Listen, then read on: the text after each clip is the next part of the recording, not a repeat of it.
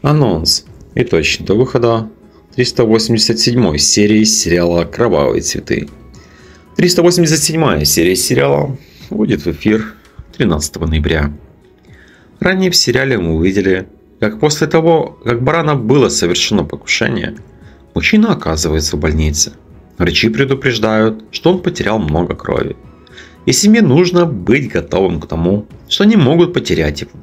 Кудрет не готов переживать боль от утраты еще одного ребенка.